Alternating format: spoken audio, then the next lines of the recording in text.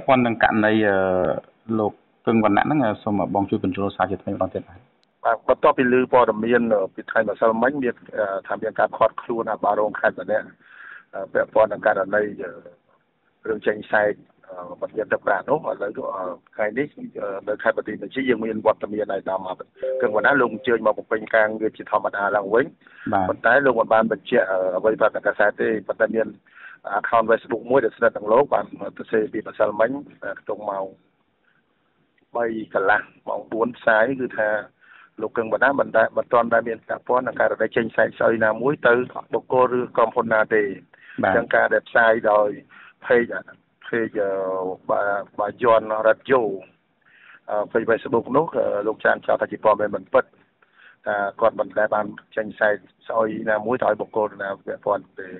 ហើយដល់ថ្ងៃនេះក្នុងក្នុងចំណោមមហាជនប្រមាណជិត400នាក់ធ្វើពិធីចែកវ៉ែនតាដល់ប្រជាពលរដ្ឋនៅស្រុកថ្មពួកក៏មានវត្តមានអាដាមគឹងវត្តណាអភិបាលរងខេត្តក៏លោកអញ្ជើញចូលរួមជាធម្មតាបំពេញការងារបម្រើជាប្រវត្តិធម្មតាហើយកន្លងមកនៅស្រុកថ្មពួកនេះលោកបានចំណាយធនធានច្រើនជួយទាំងជួសជុលផ្លូវជួសជុលធ្វើសំណង់អភិយាជាច្រើនបម្រើឲ្យសកម្មភាពសង្គមបាទ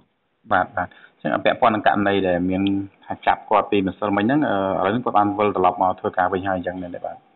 បាទបាទបាទបាទកាលនេះមានវត្តមានគាត់លោកមកធ្វើការវិញធម្មតាបាទខ្ញុំមានន័យថាគាត់ម្សិលមិញហ្នឹងគេគេអញ្ជើញគាត់ទៅភ្នំពេញហ្នឹងហើយគាត់ត្រឡប់ធ្វើដំណើរមកវិញទាំងយប់តែម្ដងក្រោយពីធ្វើការសម្របសម្រួលគ្នានៅភ្នំពេញហើយមែនទេបាទខ្ញុំអត់ច្បាស់ថានៅភ្នំពេញគេសួរនាំគាត់យ៉ាងម៉េចទេប៉ុន្តែព្រឹកឡើងម៉ោងជិត7យើងបានជួបគាត់នៅកន្លែងពិធីហ្នឹងបងបងអញ្ចឹងណាបាទបាទបាទហើយបាទបាទយើងអត់បានសម្ភាសផ្ទាល់ជាមួយគាត់ទេដោយសារតែ នៅក្នុងចំណោមការជួបជុំពិធីនេះមានមនុស្សច្រើនពេកយើងអត់បានសម្ភាសគាត់បាទបាទប៉ុន្តែគាត់អត់ដឹងថាឥឡូវគាត់បានវិលត្រឡប់ទៅធ្វើការជាប្រក្រតីជាកម្មវិធីធម្មតាបាទបាទបាទកម្មវិធីការធម្មតាវិញប៉ុន្តែមូលហេតុនៃការខាត់ខ្លួនរឿងអីនោះគឺ